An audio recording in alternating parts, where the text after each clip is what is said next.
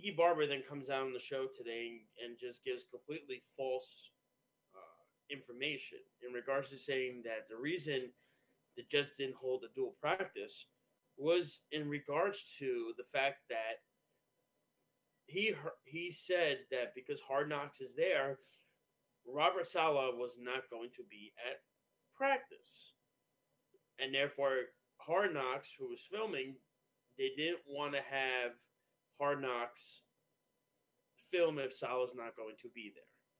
Well, there was a complete lie because Robert Saleh was at practice, by the way. He was there. And the reality of it is Tiki Barber just flat out gave falsified information and it just didn't make any sense or correlate to anything because when you're on the radio, the media, anything like that, of course, you could get things wrong. You could say things out loud, everything like that. This morning, Tiki Barb, I mean, there were there were pictures and everything that Saleh was at practice. So I don't understand where Tiki Barber got this information from. And I, listen, he has said on the air he is not a Jet hater. That's a lie number one. And number two, I saw WFAN went to jet practice on Tuesday. Sean Marash and Evan Roberts were there, uh, judging from the pictures on Twitter. But why was Tiki Barber not there? But yet Tiki Barber went to visit the Jets at practice a couple weeks ago.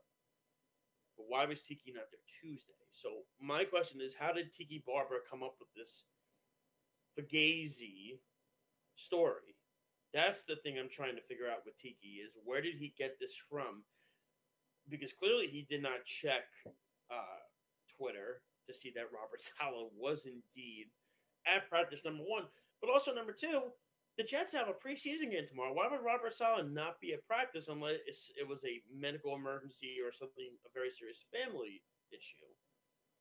So that's the part I'm still trying to get clarified because you make up a story like that, also you're also hurting a character as in regards to the media because the thing of it too is he doesn't just work for WFAN. He also calls games. He calls games for CBS Sports.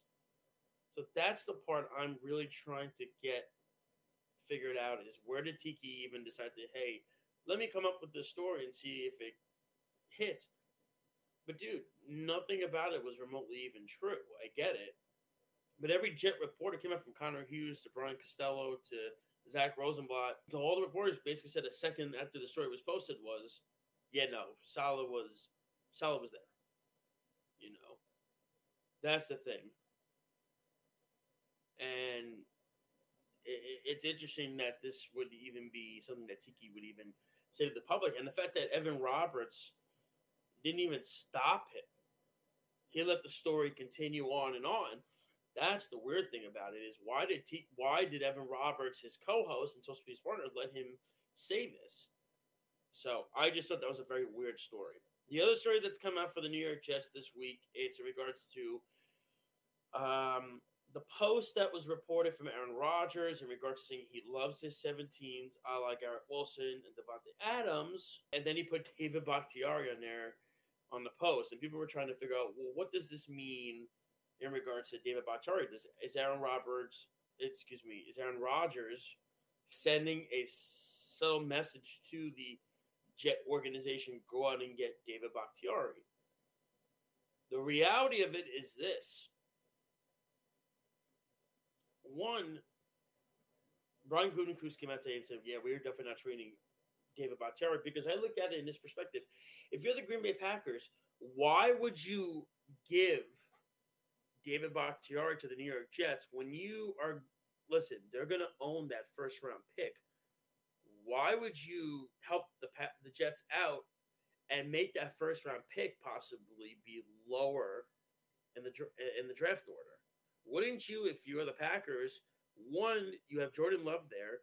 Wouldn't you want to see Jordan Love develop and actually have a left tackle who's a very good player on that line too, and have uh, continuity on that line? It also goes back to why would the Packers trade him to the Jets if it makes the Jets better? The Packers are going on that first round pick. So that's the part to me I'm still trying to say, you know, why would this trade happen?